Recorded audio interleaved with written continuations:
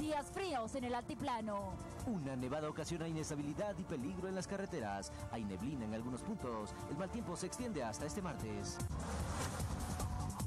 Que haya justicia en este momento, que estos jóvenes que están acostumbrados a llevar. Cinco ante el juez. De los nueve menores investigados, algunos enfrentan un proceso penal por el presunto abuso sexual a dos de sus compañeras. Las habrían obligado a beber alcohol. Cerrar a una persona a 30 años no tiene mucho sentido. Muchas veces cuando el delincuente es joven sale de 50 años y sale mucho más delincuente. Buscando el remedio contra la inseguridad. El MAS anuncia un proyecto de ley. Sería presentado la próxima semana. El MSM culpa al gobierno y una candidata de Unidad Demócrata propone cadena perpetua.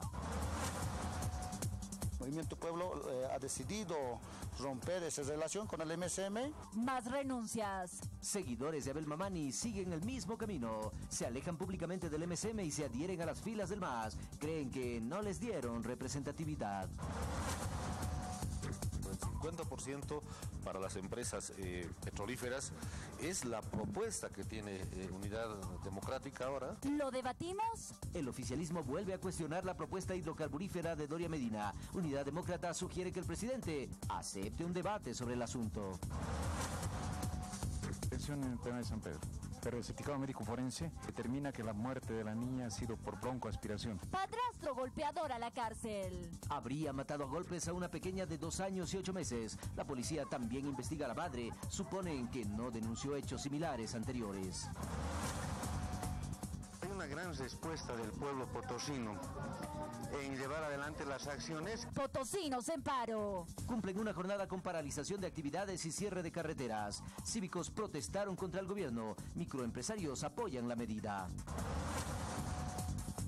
Revisados los estados financieros de la empresa metalúrgica Vinto a diciembre del 2013, tiene una deuda acumulada de más de 1.260 millones de bolivianos. Virtual, quiebra técnica. La situación de Vinto sería delicada, según un asambleísta departamental de Oruro. Tendría una deuda con Guanuni de 80 millones de dólares que no puede pagar.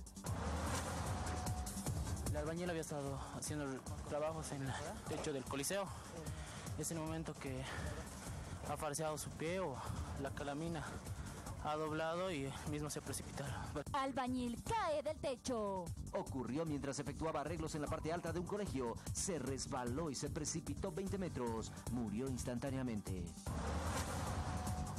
¿Están utilizando las redes sociales para atacar? Pues sí, claro que sí, se están utilizando. Es parte de la campaña. La política en las redes. Facebook y Twitter como herramienta estratégica de campaña. El MAS tiene el mayor número de cuentas y perfiles, pero los opositores tienen más seguidores. Bienvenidos a Notivisión.